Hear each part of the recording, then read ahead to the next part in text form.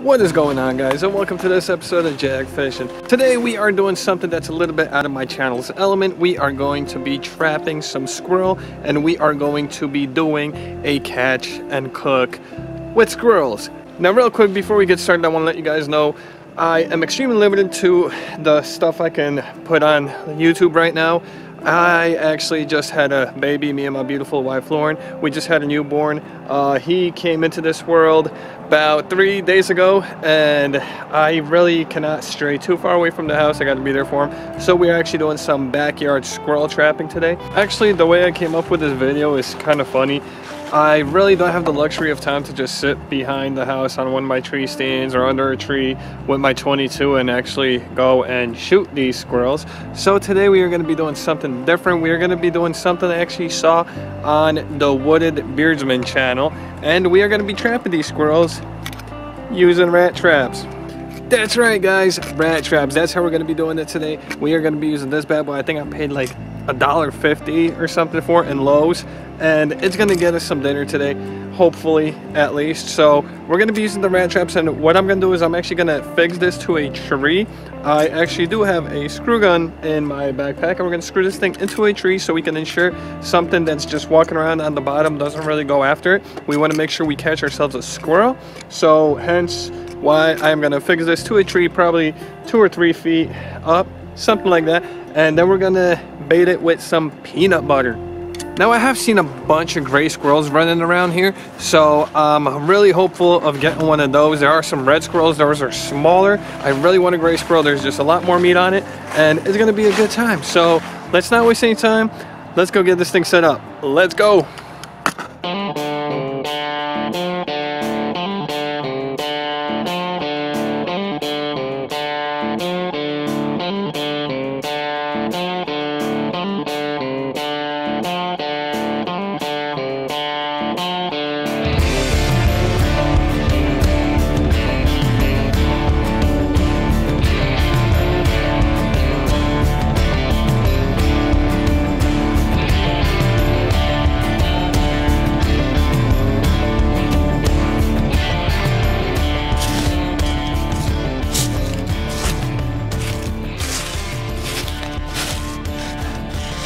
Oh yeah. Yep.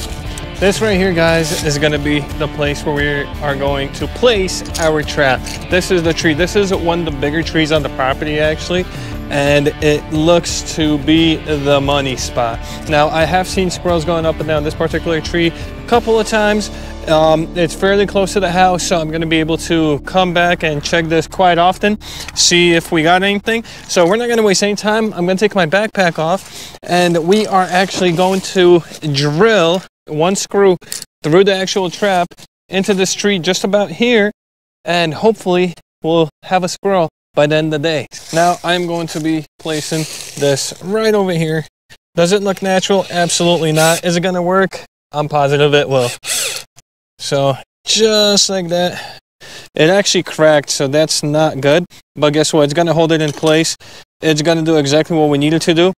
And if anything, we have a big old chain over here. that uh, That's actually embedded on the other side into the tree, so it's got some history to it. That's pretty cool. First thing I want to do is I'm going to open up some of this peanut butter. And I'm just going to smear it right over here. So this is what I got over here. Got a little bit of peanut butter and it's actually the crunchy kind so it like comes in with nuts and stuff like that. So i'm just smearing it all around here. Hopefully it'll spark the interest of some that's good stuff. I want a pb&j right now. But yeah hopefully it'll spark the interest of some willing squirrel to eat some peanut butter and we'll be able to get it. So without further ado let's set this thing up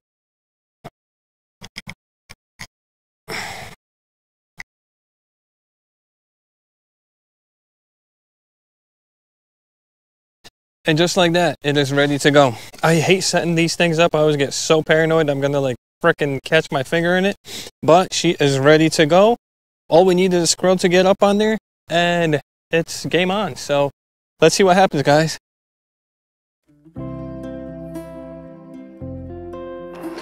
All right, guys, so it is about 7.30 right now in the morning, following day. And I just saw a squirrel in those woods over there, and we're gonna go check her Oh, there's squirrels all over the trap. Guys, we got one. We got a squirrel down, baby. We got a squirrel down. Oh, this is awesome. Hang on, guys. I'm taking this camera off. So here's what we're looking at, guys. There's the trap right there. I see it went off. And down below, well, there it is. We got ourselves a nice big ol' gray squirrel. Heck yeah. Nice, beautiful male. Okay, so there we go. Uh, this is awesome because with this, we're going to be able to do the catch and cook portion or cook rather um, portion of the video so that's awesome. So we're gonna try to MacGyver something together. The good thing is she's still really really warm or he rather. And we're just gonna skin this thing up real quick and then we're gonna let it age overnight in the fridge.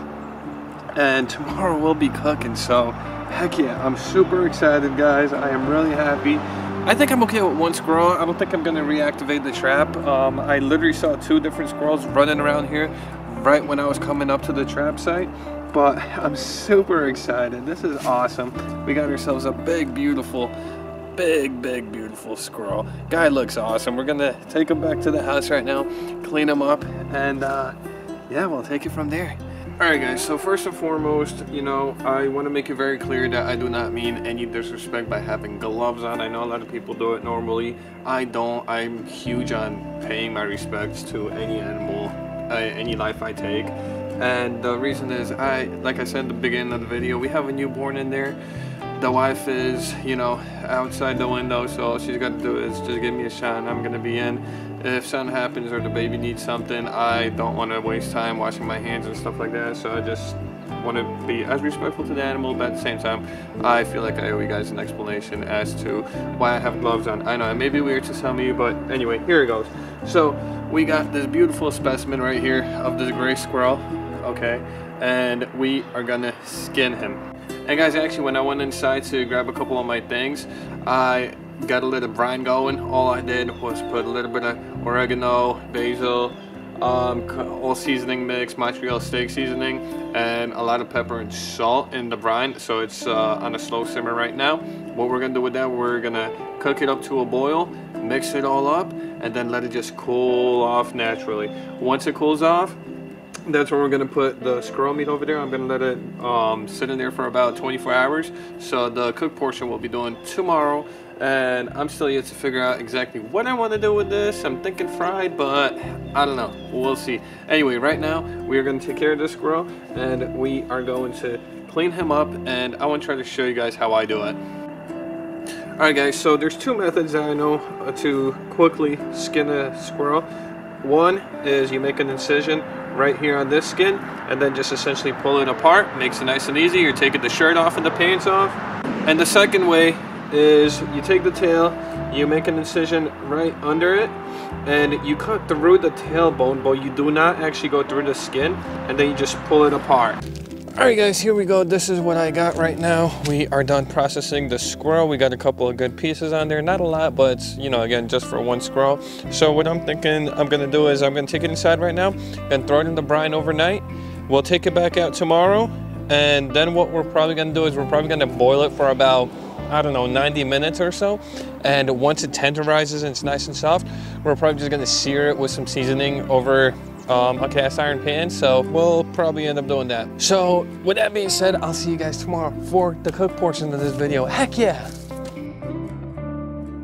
All right guys, so we are coming into the cooking portion of this video today and I have the squirrel in the fridge right now. I'm about to take it out and we are gonna do a taste test on the squirrel. I decided what kind of recipe I'm gonna use but for the taste test, I have two special guests with me. Hi!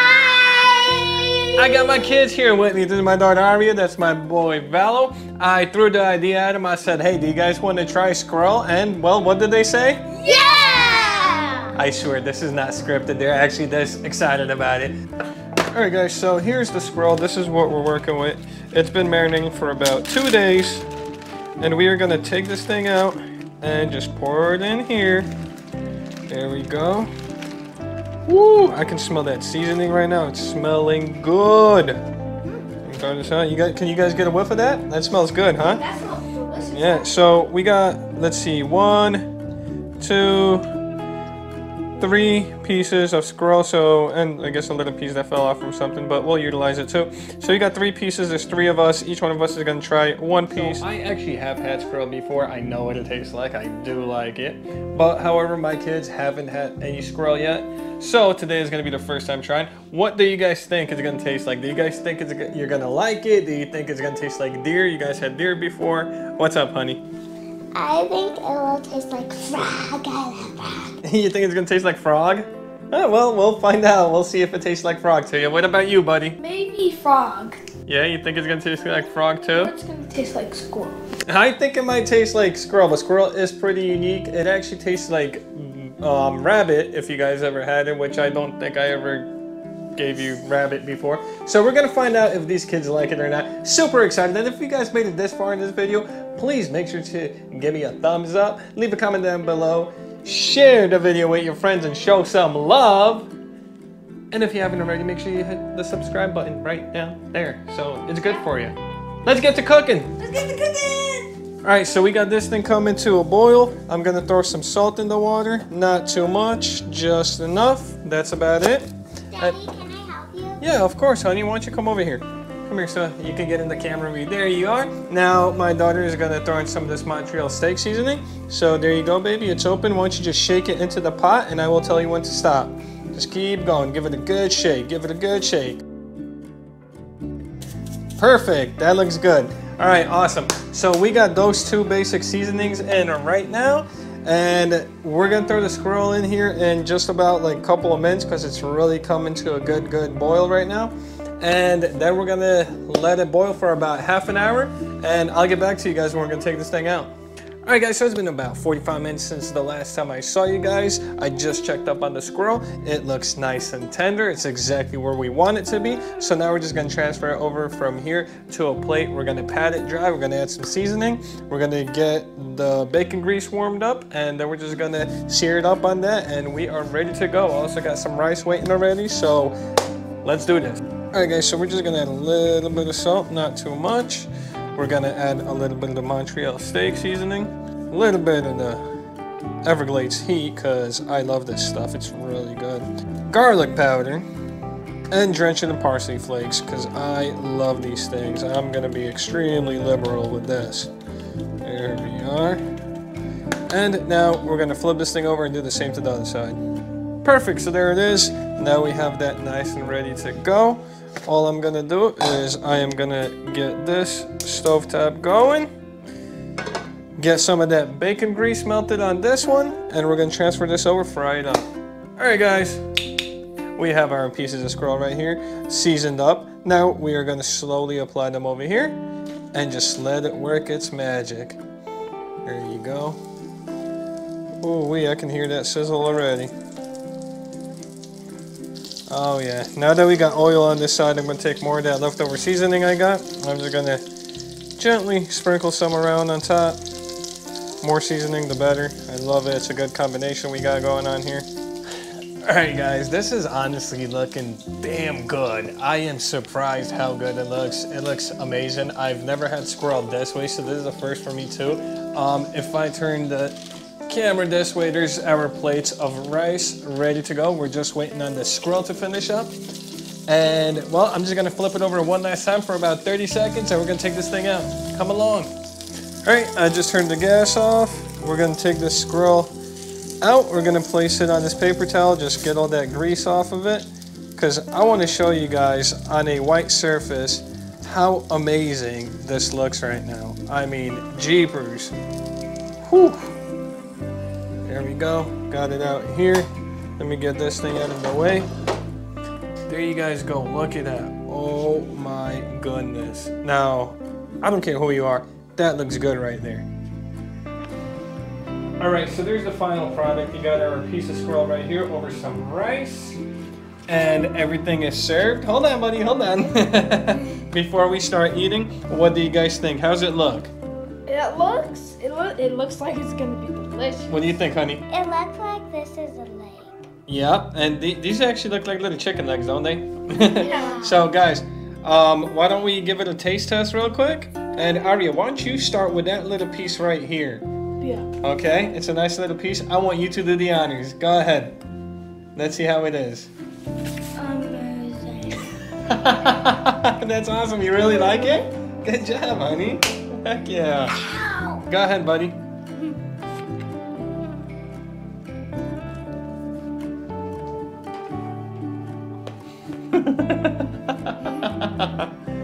Not bad? Yeah. These Let me kids try. love it. Mm. Yep, that's good. What squirrel is this? Red squirrel? Gray squirrel? Great. This is gray squirrel. Mm-hmm. Yep. No, it's really good. The seasoning from the brine really went through. I really like it. It's really good. Um, yeah, definitely a good idea to get yourself some squirrel and then cook it up. It's a delicious little treat. The kids like it. Super excited. And guys, thank you so much for joining us on this video. We're gonna finish off our meal right now. And I hope you guys enjoyed it. If you did, please thumbs up, comment down below, subscribe to the channel if you haven't already. Wait. And until next time, guys, what? If you guys never tried it, squirrel, just get a squirrel like.